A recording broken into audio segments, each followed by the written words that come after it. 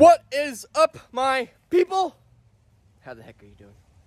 You know the drill. It's your boy, Tyler Nolan, and your other boy, Josh. Woo. My Car- Caribbean, Caribbean? Caribbean, Caribbean. My Caribbean friend. so we are out here today. I got a special announcement. Not a special announcement, but it's kind of like a surprise video um, for an animal that I've had for maybe about a week now that I have not even told you guys about. I'll give you a little hint. It came from my good friend Kevin McCurley over at Nerd. Thank you very much, bro. I really, really appreciate it. Now, if you guys don't know already, a few weeks ago, actually, no, oh, man, time flies. A couple months ago, Christmas, okay? Christmas came around, it was 75 degrees during the day. It dropped to 30 degrees at night, okay? My black Asian water monitors, the Black Dragons, Tyson and Latifa, they got out of their heat boxes during the day to bask in the sun, and then the temperature dropped to 30 degrees that night. I didn't get a check on them until the morning, and they freaking froze overnight. Latifa went into her water bowl to get warm from the sun that day. She stayed in her water when the cold spike happened, pretty much froze to death. And then, same thing with freaking Tyson. Tyson got out of his heat box and froze to death up top and it was devastating. I didn't make a video. I mean, I made a video afterwards about it, but I didn't make a video of it actually happening because it was just it was it was horrible. Like I didn't post for like a week or so after that just because it was it put me in a really bad mental space. They're animals that I loved. I raised them from babies, and this year was finally the year that I was going to be able to breed them. And they were one of the reasons why I bought my property. Not only did I buy, obviously, I bought my property because I had my daughter and I want my daughter to grow up on a farm and like have animals and learn responsibility, yada yada, have a nice plenty of space to grow and play and have fun. But also, the main reason was for my animals. My animals were outgrowing their cages. So I needed to move to a bigger property to build them the proper enclosures that they deserved. And sadly enough, I lost them. And it was really, really, and put me in a really bad mental spot for a little bit. But my friend Kevin reached out to me and he was kind enough to send me a couple more as a surprise. He sent me that pet black dragon, Josh that you guys saw in that last video. Josh is actually at a friend's house, my buddy Austin. Austin has Josh right now. He's uh, supposedly, hopefully, he's breeding with a female right now. He's in cage with that, so we'll keep you tuned with whatever happens with that. Hopefully, Josh produces some babies. We get some black dragons from him. But we still have Butters here. Butters is a T-positive albino water monitor that he also gifted me. Super, super beautiful, which you will see later on in this video when we go into the garage. I have him set up in a big enclosure in my garage right now. So, this is Butter's cage, and as you can see, size comparison to Josh, it is a very big enclosure. Not necessarily, but for him, he is on the smaller side. So this animal right here is about a year old, and he knows that we're in the garage, so he kind of hides, and he's a little bit skittish at the moment. Hey, you're okay, dude. Hey, relax, relax, relax. It's okay. It's all right. So Butters, as you can see, he's just a little bit on the crazy side still. So we're gonna move him to a smaller enclosure today. Now keeping smaller lizards like this, or just younger lizards like this, giving them a lot of room in a big enclosure, it just kinda it's not as secure. They feel like they're in the wild, and I'm like more of a predator, so they get very scared of you, and they're not as chill as they would be in a smaller enclosure. That way, there's just less room for them to run around. There's more one on one action with them, and it's much, much easier to come in here, open up their glass, get them, coax them out with some food, and gain their trust. So that is what I need to do with him first. I thought that this cage was going to be perfect for him, but it turns out that it's just it's just a little bit too big for now. So I'm gonna wait until they get a little older to move them into bigger enclosures like this. So today we have a couple 40 gallon um, cages. They're Carolina custom cages that I got on Amazon, I think, a while ago for the indigo snakes, like a few years ago. So I still have those cages. We're gonna move them into this little area right here. So that way, every day I can come into here, I can open up their cages and just interact with them a little bit more of a one-on-one, -on -one, not so much space encounter. You know what I mean? Makes sense, right? And obviously, me and Gianna are in the garage all the time because we got all of our babies in here. We got we got J Lo and Ben Affleck, our ducks. We like to hang out with them as much. You didn't know that's what their names are? Yeah, Jennifer Lopez and Ben Affleck. How funny is that? South Park, another South Park reference. We like South Park over here. Then we got 14 chickens. A lot of them are babies, and then two of them are a few weeks old already. Um, I think there's like six silky chickens, five Rhode Island Reds, and then two Jersey Giants. And we also have some red-bellied Phoenix chickens on the way. Those are the roosters with the really, really long tails. They're super beautiful, bright red. They got really nice manes and stuff. They're very, very cool. So I'm going chicken crazy, guys. I got, I got the sickness. I got the sickness of the chickens. I need, I need more chickens. Okay, all the chickens, give them to me. Every color, every shape, all of them. I need them. En- enough silly stuff. Let's go get these cages and set everybody up. And I'm to show you what the surprise animal is today. I'm very excited to meet her. There's another clue right there. Comment down below what you think it's to be. I'm really excited about it. Kevin, I can't thank you enough, dude. I owe Kevin so much, dude. Like, ah, I love these animals. I'm very, very happy to at least have some monitors back. Eventually, I'm gonna get some more all black dragons because I just love having a jet black animal. You know, they look like Komodo dragons. Really, really cool. Excuse the mess in here. This is the snake shed. It is a disaster. Me and Josh got to clean this later when we're done with this video. But these are the 40 gallon breeder Carolina custom cages. They're super cool. It's got sliding glass, plenty of room for these guys, especially the size that they are. And then there's something in here that you can't even see right now. What we're going to do is we're going to move these cages first. And then when we're in the garage, I'll take her out and show you the new surprise animal. Yeah, yeah these cages are awesome, man. All glass. Uh, another really cool feature about them is it's all sealed on the bottom. So if you did want to fill it up for like a turtle tank or something, you could put a little bit of water in them and it actually holds water really well. But they're really nice cages. We're going to get these things cleaned out pristine for these animals today. Make them real look fancy. Look at that. Oh, look at that booty right there. Hell yeah. That looks awesome. It fits perfect right there. Bueno, bueno. Boom, baby. Look at that setup. Looking good. Got all the heat in here. We got hide boxes for both of them. We got nice big water bowls because obviously both of these animals love to be in the water. That looks really good, Josh. And it fits great in the garage. Even next to this, even though now this cage is going to be empty, this is going to look great. And another one of the main reasons why I moved them into my garage is because I want to be able to just they're they're very expensive animals, very expensive little babies, about five grand a piece or more, depending on who you go through. So I don't want to lose them. Okay, they're really fast. Sometimes they'll bite you, and it's just all sorts of things that happen. So I like to be able to close my garage door. That way, I know if he gets all nimbly bimbly and somehow gets out of my grip or whatever, you know, he jumps off of me, takes off there fast as. So I want to make sure they stay in here, right? So Josh, I'm gonna go hit that garage door button right over there, and then let's see how Butters is gonna act today. Fingers crossed, I do not get bitten. He's been really crazy since he's been in that cage. Like I said, obviously you guys saw the video before. You can go click right here, go watch it. When I got him, taking him out of the bag, he was super mellow and calm. It was also kind of a chillier day. Now it's hot as crap out here, but it was a little bit cold out, so he was a little bit on the lethargic side. Dude, this looks great with the. Look at that. Looks awesome with the door down. Like this, it fits perfect. It looks great. I love having animals in here. There's so many animals in here. And uh, Butters was actually out yesterday, and he was on the cage right around here, and he was like looking down into the chick bin, like this little brooder that I have set up right here. He was Snack he was side eyeing these chicks like he wanted to eat them. So can't have any escapes, or else I'm gonna have a bunch of dead chickens and a real fat lizard. Let's see how this works. And then we will show you the new surprise animal. Finally. I know it's been a long time waiting.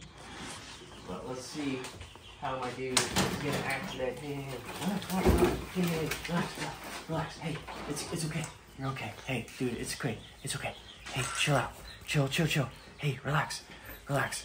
I know I'm kind of holding him, like holding him tight, or not tight, but like I don't want him to run away because obviously he's being a little bit on the crazy side right now. Hey, dude, relax, relax. Hey, whoo, relax, relax. You see, he's just very like he's so fast. Like look at look at the movement on here. Super super fast. At least he hasn't tried to bite me, which is good. He's only tried to bite me last time. Last time he was just real aggro and being crazy. But look, he's already starting to calm down a little bit. Where's he at? I don't see him. Hold on, he's coming around here. There we go. Look at this. You just got to be so careful with these lizards, man, especially when you're trying to calm them down and work with them. Like always positive interactions with these guys. If you have a crazy animal like this, and every time, every time you go into the cage, and you try to get them out, and you just forcefully grab them and you just piss them off and you make them super scared of you, they're never gonna calm down and be cool animals. You want positive interactions every single time. So now that he's gonna be in a smaller enclosure, I'm gonna be able to come out here, pull up a little chair. Pull up a little chair. See how fast he is? Imagine if he got out, out there. Once he gets in the grass, on the concrete, he's not so fast because he kind of does burnouts and he can't really get traction and take off. But in the grass, no way that I'm catching this animal. He will just take off and see you later, Butters. He's out in the wild just living his best life. Okay? And that is not what we want. We got enough invasive animals in this world. We don't need more things getting loose, okay? So that's what you want to do. You just want to nice and calmly just chill with him, work him, let him run, let him do his thing. Try not to hold him and grab them, you know? It's hard. It's easier said than done. You know what I mean? Especially his nails. His nails are razor freaking sharp. They're like ah. little hypodermic needles. They're so freaking sharp. So all he's got to do is touch you with those little. Oh, you spitting up water? Blah. He must have been drinking a little bit ago. He's spitting up water a little bit. So I don't want to. I don't want to freak him out anymore. He's spitting up water. We're gonna put you in your new enclosure. It's the perfect size for him. You see that? So now this way, I can come into the garage. I can sit down with him by his cage. I'm gonna get a uh, like how Brian Barczyk does the whole little target training. He uses the little balls on the end of the stick. I'm gonna start doing some target training with him. Get him to come out, touch the nose with his ball, and then give him a treat as a reward, like a little piece of a pinky or a whole pinky, whatever the hell, the case is. So then hopefully he will just get nice and calm and tame. And then when he's a big, beautiful dragon, I can take him out. People can come over when they do the animal encounters and little tours on the property. They can actually interact with this animal and just learn more about them and not be so scared of them. Because that's what this is all about. It's all about education and just teaching you guys about these animals and how not everything, yeah, even though they might be dangerous, bro, but there's ways. Ew, that was gross. But there's ways to read their body language and just become more friendlier with your animals, you know? So, whoa! We just lost the light. Oh, you see these stupid lights? What the heck just happened? Is it getting too hot? I don't even freaking know. Anyways, so let's get Butters locked up. We got nice showcase locks on here. So that way no funny business happens. Another reason why I have them in the garage. High dollar lizards. I don't want them outside so people can freaking come and mess with them even though that we're locked and loaded over here and I got security cameras. And I got guns everywhere, so don't you come over here around and find out the wrong way. Alright, so let's go uh let's go grab the surprise animal, which I'm hoping by now you guys are smart enough to have figured it out, but maybe some of you aren't. That ain't my problem. Yeah, look at this. This is literally just from the five minutes of holding Butters. Little cuts, and I'm bleeding all over the place. Those little claws are razor freaking sharp. No joke. We had her set up in one of those 40 gallon cages before this. I only put her in this rack while we moved the cages over here. Just so you guys don't freak out. Why are you keeping a water monitor in the rack? I'm not. She's- She's been in here for 15 minutes, so pump the brakes. Alright, so let's see how this little baby is doing. Now, she is actually a lot more calm than Butters. Look at this beautiful baby. So her name is Lexus, Butters' girlfriend. How cute is this little animal? Look how beautiful that is. So freaking pretty, right? Such a cool animal, dude. I love her. She's got an orange eyeball. This is also a T positive albino water monitor. She's about a year old, I believe, so she's close in size of Butters. She's a little bit smaller. Look how beautiful that little face is, though. So freaking cute. And she's giving me some nice, friendly tongue flicks. She's not spazzy or anything. Every time I've been handling her every single day, I go into my snake shed, take her out, let her crawl all over me. She has the temperament of Onyx. Now, you guys obviously know Onyx. He's super, super chill, likes to crawl on me. I can walk around the property with him outside. He doesn't try to jump off me and run everywhere. She has a very similar personality to Onyx, which I'm very thankful for. Kevin McCurley does such a great job socializing these animals before he ships them out. Right from the time that they hatch, they make sure that they handle these animals Oh my god. That was such a big poop. All right, little guy, get over here. At least you're not running and being crazy. You're just pooping on me. Awesome. Thanks, Lexus. Wow. Oh my god, that smells so bad. Fish. Almost like they have like it's almost like light lavender on their mm-hmm. skin, like yellow and lavender. Just such beautiful animals. Very different than the black dragons. Obviously, black dragons are jet black. They don't really have any pattern. And I really appreciate an animal with a pattern, which is really cool. Because as these guys grow older, they're going to get lighter in color and just get prettier and prettier. Oh, we got a little fly on there. Get off her. Oh, just look how cute this little baby is. Oh, I love her. Let's go put her in her new cage and see how she likes it. All right, come on, Lexus. Look at that. So look, Butters is already hiding in there. But Lexus, this is your new cage, sweetheart. She was in this cage down here before, but since Butters is a little bit bigger than her, I'm gonna give Butters that bottom cage, and then she has this top one. Set up perfect, like I said before. Heat box is on the hot spot. They have a little branch where they can climb up and get closer to the heat light if need be. Um, obviously, I'm keeping them in my garage in Florida, so sometimes this heat light is not going to be on. Off camera after this video, I have a nice little thermostat I'm going to set up. So that way, if the temperature gets too hot in here, it's going to kill those heat lights for the time being. And then when it cools down later on in the day, I'll turn back on and just to keep the temperatures at the exact, where, where we want it. That's pretty much the whole goal here. So, you got a new cage, Lexus? Where's the lock? Let's get this baby girl locked up. You're so cute. Ah, so, so freaking happy. Kevin McCurley over at Nerd. If you guys don't know, go check them out. Kevin's a great dude. I really appreciate it. Can't thank you enough, bro. So, that's it, guys. I hope you enjoyed this video. I'm gonna go change my clothes and take a shower because I got water monitor poop all over me and oh god, this dude smells so bad. Josh, thank you so much for helping me out, my dude. Josh is also a tattooer, guys, here in South Florida. His shop is in Hollywood, Yep. Hollywood, Florida. Hollywood Beach, Florida. Guys are in the area. You want a sweet tat? I'll put all Josh's information down here. Go check him out. Give him a follow. He deserves it. You're gonna see a lot more of him. He's gonna be over here on the property helping me out all the time, as much as he can. He's a daddy also, so we got crazy schedules. And he's a tattooer, so he just he knows how it is.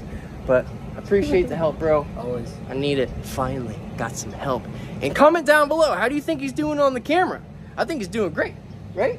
I'm. Bro, you're a tattooer. You got steady hands. That's all that it is. Steady hands.